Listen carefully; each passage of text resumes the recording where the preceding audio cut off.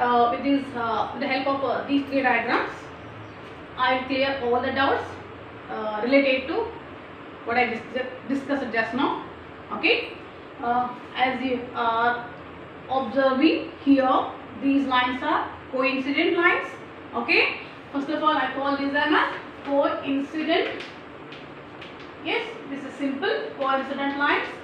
This way you are defining, and what else we are getting? Infinitely many solutions you are getting for this one. Third, you are going to get infinitely many solutions, coincident lines, and you are going to get here consistent.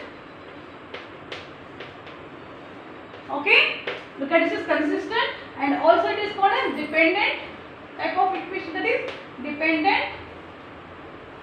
And the fourth one more thing is a1 upon a2 is equal to b1 upon b2 is equal to c1 upon c2.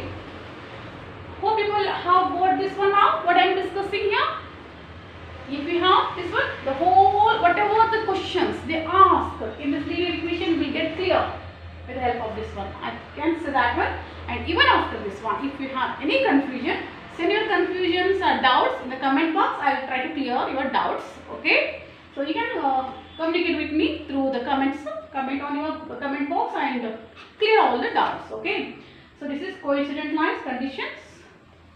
Now I will move to the second one. As you know, these are what? Parallel lines. Yes. No, here infinitely many solutions. sometimes they get uh, confused with the coincident line, parallel lines. Here, no solutions only. Okay. Infinitely solutions are a bit. No solution. Remember this one. In parallel lines, no solution. Equation have no solution. Okay. And it is very simple. Inconsistent. See, when we say consistent, if they have solution, we call equation as consistent. Okay. This is inconsistent. Okay. Then the condition is what we get here with the ratio a1 upon a2 is equal to b1 upon b2 but not equal to c1 upon c2. This way, all the questions, whatever the question they ask based on this one, it will get clear if you follow these things. Learn well. Okay. If you have even any confusion, ask me. Okay. Now I will move to this one. Third, that is the third concept. What you are going to get here? So these drawing out for what? Par the linear equations. Okay. Now very simple. The first one what going to get here? This is these two. They represent intersecting lines. The second one is yes.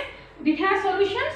What solution? One unique solution we can say, or all, or we can say also unique solution. Or at the same time saying it is same as one and only one and only one solution both are same then third one of course this is consistent but not dependent this is only called as consistent remember this one they may ask this confusion clear? In coincident line you are going to get consistent dependent. But here only consistent. The fourth one condition as you know a1 upon a2 is not equal to b1 upon b2 yes this way you are going to get the concept related to these diagrams. Hope you people have understood. Have confidence